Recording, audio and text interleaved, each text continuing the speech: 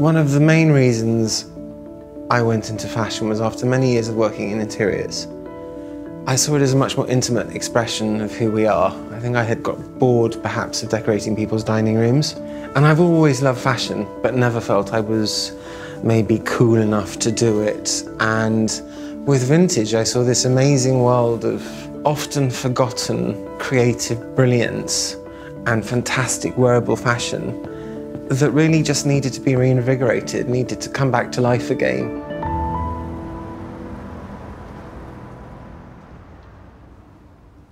It's like a marriage bureau, whether that's a woman that wants a special dress or a museum that wants to make an acquisition or an archive house or, for example, Ian and Lauren at the Westbank who wants to build a collection. I just always liked women's fashion. You can kind of tell a story of history through the dresses. I like being that person in between that I can find something that's been forgotten for 50 years and I can line it up with with the family that I know are going to look after it for the next 50 years. With vintage, there is a different kind of ownership. I think there's a more of a sense of a custodial ownership. You know that you're looking after something, you know that you've got something really special that's already lived a life, that's already part of history, and you're, you're merely safeguarding it really for the next generation. This dress is one of the more recent acquisitions for the Westbank collection and it's an amazingly exciting discovery. It's from the Autumn-Winter 2010 collection of McQueen, which was the very last collection of Alexander McQueen before he died. Every time you visit it, every time you walk around it, every time you look in detail, you see something new. And that's also a very important part of the Westbank collection because these dresses are not to go behind a glass case and against a wall. They're designed to be seen in the round. We want people to walk around them to try and get as close as possible to see how the seams are sewn, how the silk is printed, how the embroidery has been stitched, and how designers have thought about every aspect, not just of the dress, but of the woman inside it.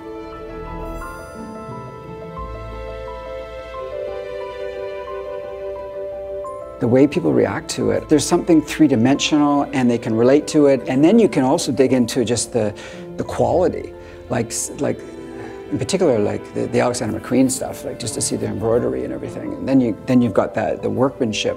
Key for me with helping Lauren and Ian on the Westbank collection is really the pieces that I think are not just incredible signatures of the designer, but of the time and the women that, that they were made for. Because the most intimate form of art to me is what you wear.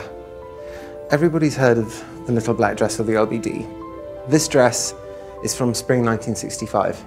Silk chiffon set against silk satin, both in black, but with completely different properties of light, one reflective, one absorption. So you get this fantastic contrast between the two. It's a perfect expression of Chanel and the women that she dressed. And it's intensely modern. It feels just as relevant now in 2017 as it did when it was made 52 years ago. With architecture or making buildings, the city is made up of hundreds and hundreds and hundreds of buildings. But if you look back, only a handful of buildings will kind of stand out. And this is probably it's the same with fashion, right? You know, you go into a store and every season you go in there and there's hundreds of dresses and 99% of those are of, they're just fabric. But then if you look back with the benefit of hindsight, you'll see that every once in a while something stands out because it marks a transition point or a high point in some um, somebody's vision. And I think that that's what this is, needs to be about, is that the hitting those points of uh, departure. The Westbank collection is very different because it's, it's about clothing that really speaks to you, irrespective of whether or not you like fashion, actually. It's about here is a beautiful thing. Do you find it beautiful too?